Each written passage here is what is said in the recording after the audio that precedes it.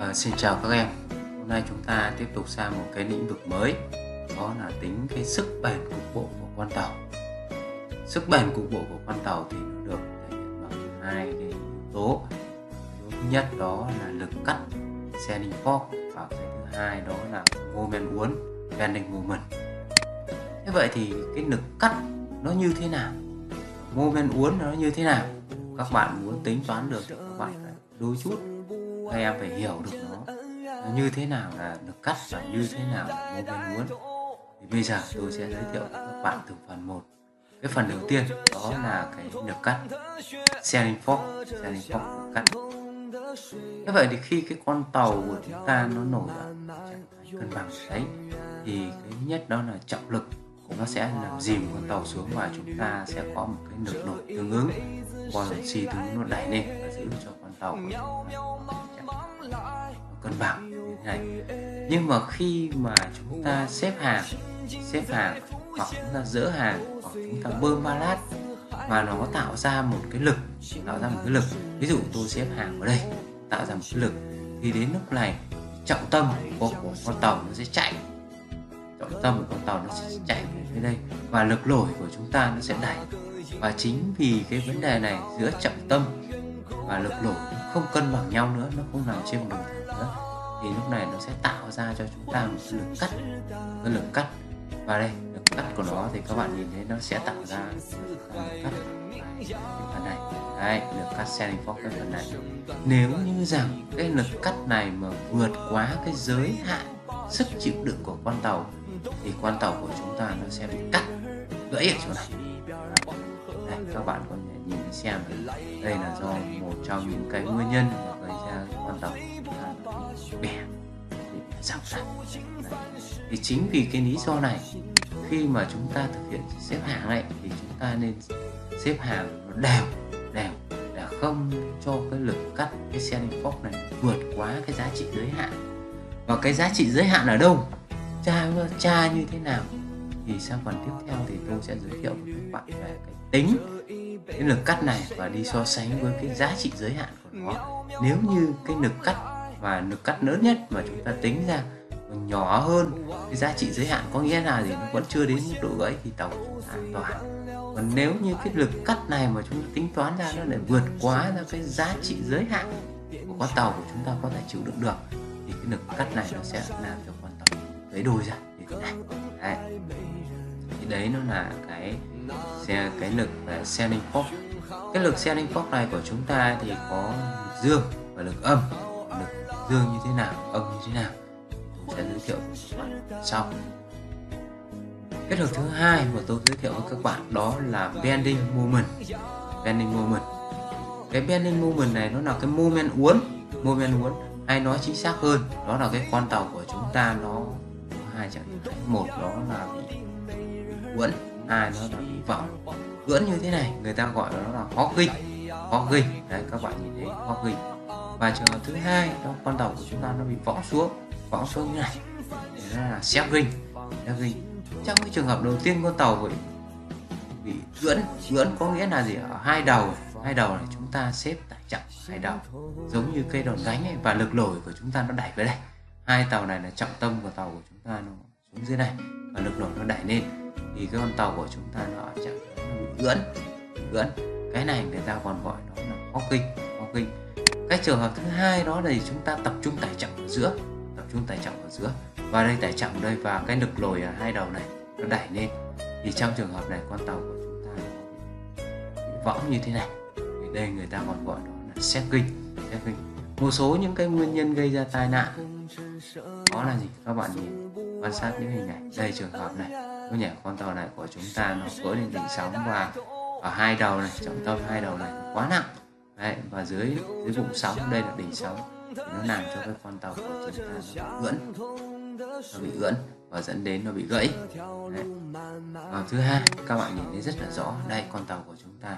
Đây là trong trường hợp không, không có sóng gió mà con tàu của chúng ta nó đã bị ưỡn bị ưỡn bị ưỡn. Còn đây là cái con trường tàu trường hợp nó ưỡn quá dẫn đến là nó, nó bị gãy bị gãy. Còn đây là con trường hợp mà gì? Tàu của chúng ta nó bị nó bị xét rinh nó bị võng qua, dẫn đến là cũng bị gãy bị gãy. Đấy là hai cái trường hợp cho trường hợp bending moment và standing fork vậy thì nhiệm vụ các bạn đã hiểu được là bending moment nó là một moment uốn, có thể là gì? Tàu của chúng ta bị gãn hoặc là gì? Tàu của chúng ta bị võng, hoặc là lực cắt cắt dọc standing fork chúng ta, đúng không? Standing fork của chúng ta. Là cái quan trọng bây giờ các em đã hiểu được rồi, như thế nào là standing như thế nào là bending moment còn bây giờ nhiệm vụ của chúng ta là phải đi tính. Đối với mỗi một cái phương án tải trọng, thì standing fork bằng bao nhiêu bending moment bằng bao nhiêu, và chúng ta đi so sánh với cái giá trị giới hạn của đây, tôi giới thiệu với các bạn về cái Sandy Fox và bending moment đây sau khi mà các bạn đã hiện cái vấn đề nốt hàng nốt hàng đây là trong cái trường hợp mà tôi chỉ có nốt ba lát thôi. Hồng hà chưa có nước ngọt cũng chưa có, nhiên liệu chưa có. Thì đây tôi chỉ nốt ba lát thôi. Ba lát của chúng ta như thế này. Đây là cái cách ba lát của chúng ta như thế này. Thì đến lúc này, các em quan sát này. Đấy. Cái đường đỏ này, cái đường đỏ này của chúng ta, nó là đường được cắt selling fork selling fork và cái đường giá trị giới hạn của nó nó là cái đường đỏ đậm này đường đỏ đậm này giá trị giới hạn của nó. Đây. đây đấy là thế vậy thì các bạn nhìn này đây nó là cái giá trị lực cắt lớn nhất selling fork đấy. và chúng ta máy móc và tính ra cho chúng ta cái selling fork của chúng ta nó đạt đó là âm 80,76% có nghĩa là gì? Đây đây nó là gì? Đây nó là lực cắt, nó là giá trị âm. Nghĩa là con tàu của chúng ta nó bị võng xuống ở cái chỗ đây nó là hầm ba nát. Thì cái lực cắt, cái lực cắt nó cắt ở cái mặt này lớn nhất đây. Đây nó là toàn hầm ba nát. Thì đây nó không có hàng và đây không có hàng. Thì lực đây là lực lớn nhất, nó cắt ở đây. Và giá trị nó gần đạt được cái giá trị giới hạn, nó là âm 80 phần trăm. 80 phần trăm. Tại sao là người ta lại nói âm 80 phần trăm thì tôi sẽ giải thích cho các bạn sau các em xem tiếp này. Cái thứ hai đó là cái bending moment bending moment nó là cái đường màu xanh này. Màu xanh này. Đấy, đây là đường màu xanh. Đây, bending moment bending moment đường màu xanh. Và cái giá trị giá trị giới hạn bending moment đó là cái giá trị đường màu xanh này. Đây đây nó là Hawking trên mang giá trị dương là hogging. Đường âm dưới này mang giá trị đó là Seking có nghĩa là võng xuống. Thì ở đây các em nhìn này cái giá trị giới hạn. Đây đạt giá trị mắc. Bending moment đạt giá trị mắc. Mắc ở đây là bao nhiêu? Thì máy ở đây nó tính cho chúng ta mắc bending moment nó là âm 94,98 phần trăm. 94,98 đây 94, đây nó là 100 giá trị giới hạn. Đã đạt đến đây là âm 94,98 nên là cái này do cái, cái con tàu của chúng ta chỗ này nó là hầm ba nát nó vít xuống. Thì con tàu của chúng ta nó bị võng bị võng võng như này? Và giá trị đạt mắc của nó là âm 40 phần trăm. Đấy đấy là về đây là chương trình máy tính nó tính đối với một con tàu cụ thể. Thế vậy thì chúng ta khi mà chúng ta xuống một con tàu thì chúng ta giải quyết cái bài toán như thế nào? Sau mỗi một phương án tải trọng các em xếp hàng vào các cái hầm. Thì cái phương án của chúng ta tính toán nó ra làm sao? Tôi giới thiệu với các bạn hai cái phương pháp tính tính cho lực cắt và tính cho moment uốn như thế nào. Đấy, các em quan sát kỹ lên trên cái này. Đối với mỗi một hồ sơ tàu Đấy, tôi lấy hồ sơ tàu ra. Đối với mỗi một hồ sơ tàu thì người ta đều cho chúng ta một cái bảng tính bảng tính. Cái bảng tính này đấy và người ta sẽ hướng dẫn cho chúng ta cách tính như thế nào.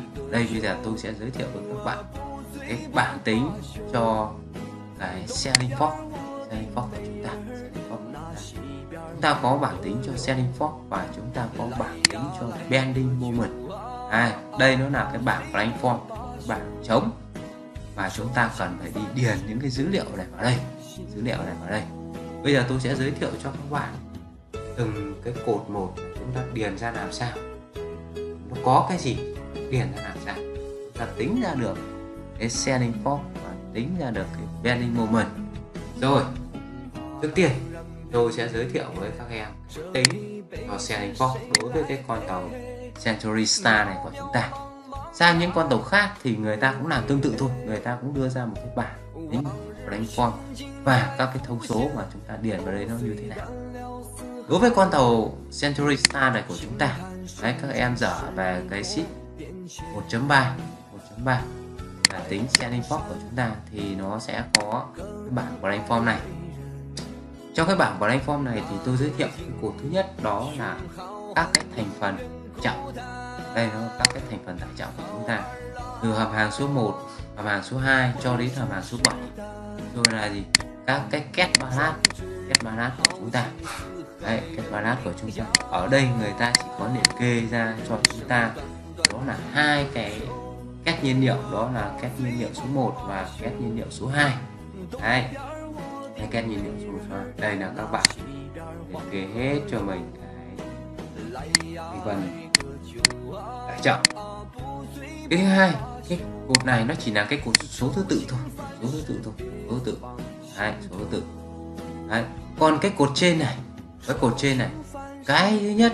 À, cái cái cột này. Đây cái cột này.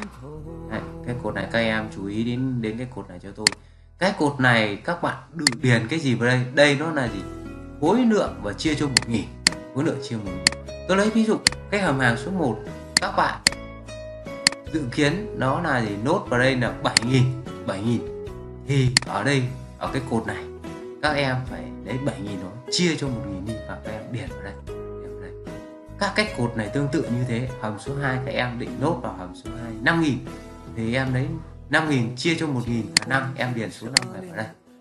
Hầm số 3 em nốt vào đây cũng 5.000 thì em lấy 5.000 chia cho 1.000 điền hết vào đây. Và tất cả các cái kết khác cũng tương tự như vậy. Từ khối lượng các em chia 1.000 và các em điền vào đây. Cái tiếp theo các em nhìn lên trên này. Đây, nó là cái gì? Đây nó là các cái vị trí của các cái frame các frame này, đó là các frame yếu để cho chúng ta xem xem là lực cắt tại các cái frame này nó như thế nào. Frame nó là các cái sườn, các cái sườn khung khung sườn tàu em lực cắt tại các frame này như thế nào? Nó tính ra giá trị được bao nhiêu tấn? Bao nhiêu tấn? Và sau khi tính ra, ví dụ giá trị nó là a tấn rồi, a tấn rồi, chúng ta đi ra so sánh cái giá trị a đấy với cái giá trị giới hạn của nó, xem là nó có chịu đựng được không? Nếu nó chịu đựng được thì là tốt, còn không chịu đựng được thì chúng ta lại phải thay đổi lại cái phương án xếp hàng ở đây. Phương án xếp hàng hoặc là phương án thay đổi luôn balance ở đây. Đấy. Thế vậy thì những cái ô này chúng ta điền như thế nào? Những cái ô này chúng ta điền như thế nào? Đấy. Sau khi mà các bạn đã điền về cái thành phần tải trọng đây, ở đây là 7.000 thì các bạn điền số 7 vào đây. Thì những cái ô này, các em để ý này. Đây, có những cái ô mà người ta để trống có những cái ô mà người ta để chấm chấm chấm chấm đấy các em nhìn thấy nhiều ô chấm chấm. Thì những cái ô để chấm này ví dụ ở đây là các em xếp vào hầm một là 7 nghìn các em lấy 7.000 chia 1.000 đây là 7 thì tất cả các cái ô này không có dấu chấm này là các em đều điền là 7 hết 7 cả. Đấy. Cái, cái đối với hầm hàng số 2 cũng thế hầm hàng số 2 cũng thế. Hầm hàng số 2 các em định nốt được 5 nghìn các em lấy 5 nghìn chia cho 10 nghìn. 5 nghìn chia cho 1 nghìn thì được 5 thì tất sẽ là các bạn điền số 5 hết. Trừ những cái chấm này là không điền. Đấy, những cái chấm này là không điền nữa. Là để chấm. Những cái chấm này là người ta không cho điền. Chúng ta chỉ điền vào những cái chỗ mà không có chấm thôi. Tất cả đến hầm số 7 là giống nhau. Hầm số 7 là giống nhau cho tất cả các frame. Riêng đối với những cái chỗ mà có hệ số hệ số này hệ số này thì bây giờ tôi giới thiệu tôi sẽ hướng dẫn với các bạn về cái hệ số này như sau ví dụ, ba lát số 2 đấy, các em bơm vào đây là 2.000 tấn. 2.000 tấn. Ba lát số 2 thì ở chỗ ô này, thì các em lấy 2.000 chia cho 1.000 thì chúng ta còn được là 2 thì các em điền vào đây là 2 điền vào đây là 2 điền vào đây cũng là 2 điền vào đây cũng là 2 điền vào đây cũng là hai. Nhưng điền vào cái ô này thì các em lấy hai và nhân với cái hệ số này. Đây. Đây. lấy hai nhân được bao nhiêu? Nhân vào đây. Đấy, một chút nữa thì tôi sẽ hướng dẫn với các bạn. Đối với cái két số 3 này cũng thế. Két số 3 này các em điền vào đây các bạn định nốt với là 2.000 tấn.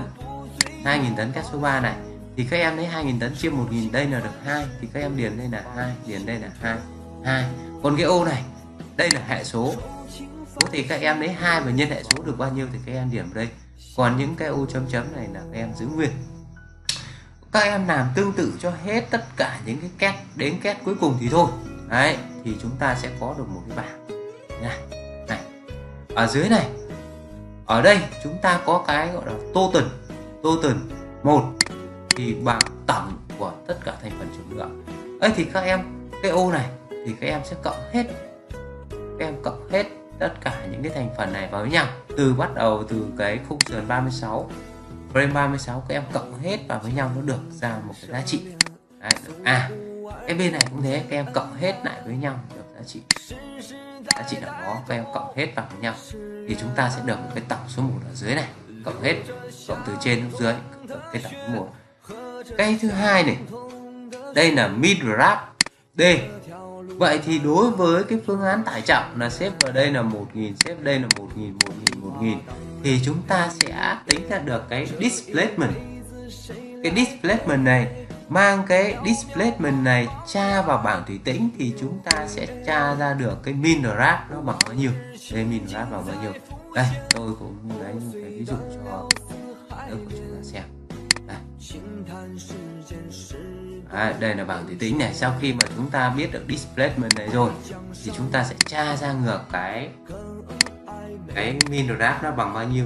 Đương nhiên là gì, khi mà các em ở cái bảng aerostatic table này, người ta nở ra đối với nước biển có tỷ trọng là 1.025 nhưng mà gì, khi mà chúng ta ở cái tỷ trọng khác nhau thì chúng ta phải correct cái tỷ trọng này. Correct cái tỷ trọng này về một cái mớn ở cái tỷ trọng đúng với cái cái nước. Ví dụ, chúng ta đang ở cái vùng nước là 1.020 thì chúng ta sẽ phải hiệu chỉnh hiệu chỉnh cái mớ này về cái tỷ trọng 1.020 xem nó chìm thêm bao nhiêu thì cái mớn đấy nó sẽ mớn thế nó tăng thêm một chút nữa. Đấy, cái bài đấy thì tôi đã giới thiệu với các bạn ở trong cái bài số 2 rồi, là cái hiệu chỉnh mớn rồi, hiệu chỉnh nước ngọt đấy. đấy, thì tôi đã giới thiệu với các bạn rồi. Tôi đã giới thiệu xong. Bây giờ thì chúng ta lại quay về cái bảng đây. Chúng ta lại quay quay về cái bảng brainform của người ta. Đây, cái bảng brainform này. À, đây.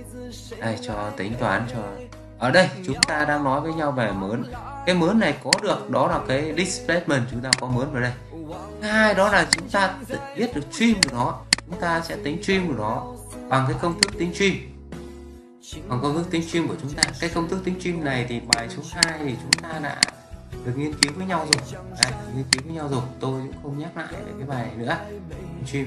Nó là bằng cái gì ạ? Bằng displacement nhân với NCG trừ đi NCB chia cho MTC nhân với 100 và đơn vị của nó là mét. Đây thì chúng ta đã được cái um, cái uh, min graph này. Chúng ta biết được stream này. Ở cái cột này chúng ta tính cái gì đây? Ở cái cột này chúng ta lấy grab nhân với stream thì chúng ta sẽ ra được cái cột này. Đấy, ra ra được cái cột này. Ở cái cột này chúng ta nó là grab bình phương. Grab bình phương.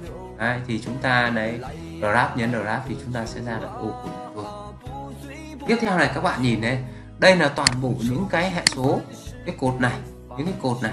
Hệ số người ta đã cho sẵn. Chúng ta không thay đổi những cái hệ số này. Hệ số này. Đấy thì những cái cột này cái ô này thì chúng ta tính ra làm sao? Chúng ta tính làm sao thì các bạn rất là đơn giản thôi đối với cái frame số 36 này frame số 36 này thì chúng ta chỉ cần lấy cái ô bên này ô này nhân với cái ô bên này thì sẽ ra ô bên này tiếp tục cái ô bên này thì chúng ta lấy cái ô bên này nhân với cái ô này sẽ ra ô bên này chúng ta lấy cái ô bên này nhân với hệ số này sẽ ra cái ô bên này chúng ta lấy cái ô bên này nhân với hệ số này thì sẽ ra ô bên này đó còn tiếp theo đó là gì về cái correction này cái correction này, người ta đã cho sẵn correction rồi thì chúng ta để nguyên. Đấy. Thế sau khi mà chúng ta đã tính lên được đến đây rồi thì các bạn nhìn thấy này cái total cái hai cái hai cái hai là total nữa, các bạn cộng từ cái ô này, các bạn cộng đến cái ô này thì sẽ ra cái total số 2 total số 2 đấy total số 2 và cái cuối cùng, cái selling force của chúng ta bằng cái hai trừ cái một, cái hai đâu ạ?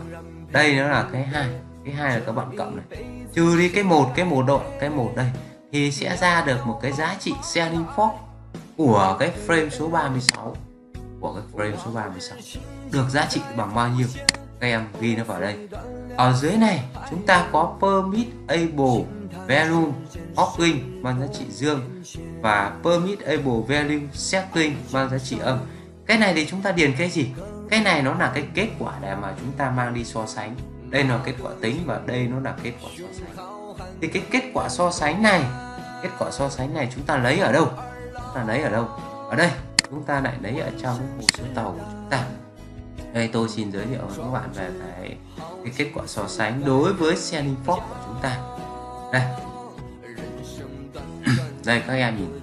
Ở đây ở cái trang 112 trong hồ sơ tàu của chúng ta chúng ta có permittable steam water bending movement and sending force selling force đây nó là gì? Cái giá trị giới hạn cho phép đối với các cái frame. Ở đây chúng ta đang xét đến cái frame số 36 frame 36 thì chúng ta có hai trạng thái để chúng ta so sánh. Cái trạng thái thứ nhất đó là trạng thái ất có con tàu của chúng ta đang chạy biển.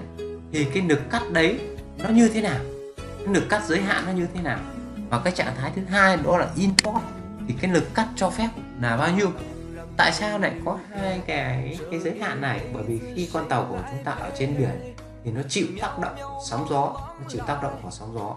Dẫn đến là cái lực cắt này ở cái, lực cắt chịu đựng ở cái, các cái frame ấy, nó sẽ lớn hơn, nó sẽ chịu được cái cái lực cắt là nó nhỏ hơn nhỏ hơn, lực cắt nhỏ hơn. Bởi vì bởi vì là khi là sóng gió nó có tác động của sóng gió thì lực cắt nhỏ hơn. Còn khi mà ở trong cảng ấy import đấy thì nó có thể chịu đựng được ở cái lực nó lớn hơn. Bởi vì nó không có tác động của sóng gió. Không có tác động của sóng gió. Chính vì vậy mà gì? Đây ở lực lực cắt xe import đối với SC cái positive đó là dấu cộng này cộng này negative là trừ này. Đấy, cộng này trừ này. Thì ở dưới này đây nó là giá trị giới hạn về dương này. Và đây là giá trị giới hạn về âm. Giá trị giới hạn về âm.